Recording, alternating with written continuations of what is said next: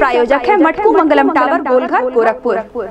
Brahmapur block में प्रत्याशियों और समर्थकों के बवाल पर हुए बुधवार वोटों के मिलान के बाद जिला पंचायत के तीन वार्डों को बुधवार की देर रात बदल दिया गया परिणाम। डीएम, सीडीओ एवं एडीएम, एफआर ने किया मैनुअली मिलान। संशोधित परिणाम में वार्ड नंबर 60 से रवि प्रताप निषाद, वार्ड नंबर इकसठ से कोदई सहानी और वार्ड नंबर 45 से देवशरण बने नए जिला पंचायत सदस्य।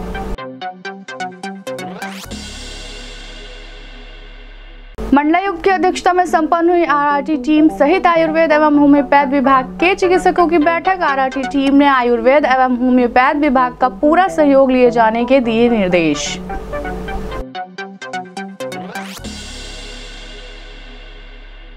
बाज़ार पुलिस चौकी में आगजनी व तोड़फोड़ के मामले में पुलिस ने 18 अभियुक्तों सहित मतगणना में हेराफेरी करने पर आरोप वीरेंद्र कुमार यादव को किया गिरफ़्तार। एसपी नाथ और एस सिंह ने बताया, इकसठ नामजद व 500 अज्ञात पर दर्ज हुआ है। केस शेष अभियुक्तों की जल्द होगी गिरफ्तारी।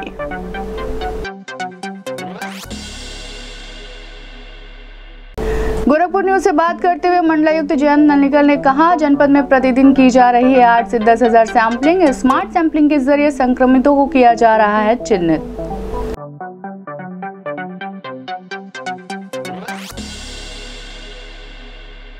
नगर आयुक्त ने महानगर वासियों से की अपील सैनिटाइजेशन और अंत्येष्टि स्थल पर यदि कोई माँगता है सुविधा शुल्क तो करे नगर निगम के कंट्रोल रूम पर शिकायत दर्ज।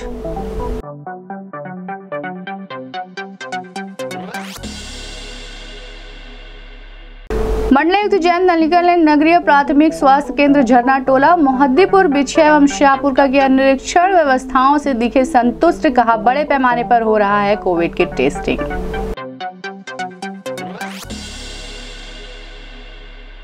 गोरखपुर में गुरुवार को मिले 911 नए कोरोना संक्रमित मरीज़। छह की हुई मौत, ज़िले में कोरोना संक्रमित मरीजों की संख्या हुई सैतालीस अब तक 504 कोरोना संक्रमित मरीज़ गवा चुके अपनी जान। नौ हज़ार दो सौ बानवे हो गए active case. CMO doctor Sudhakar Prasad Pandey ने की पुष्टि।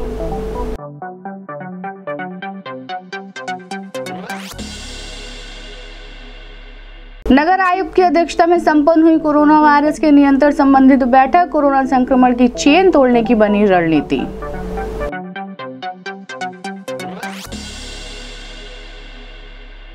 जनपद में लगाया गया आंशिक कर्फ्यू का गुरुवार को भी दिखा असर। एसपी सिटी ने कहा, कोरोना प्रोटोकॉल का उल्लंघन करने वालों पर होगी कार्रवाई।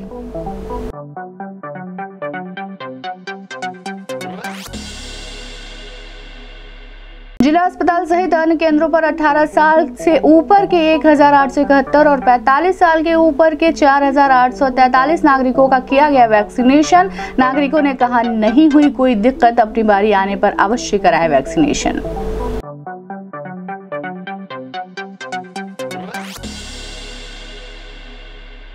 नगर आयुक्त के नेतृत्व में महानगर के विभिन्न क्षेत्रों में किया गया सैनिटाइजेशन जिससे तोड़ा जा सके कोरोना का संक्रमण।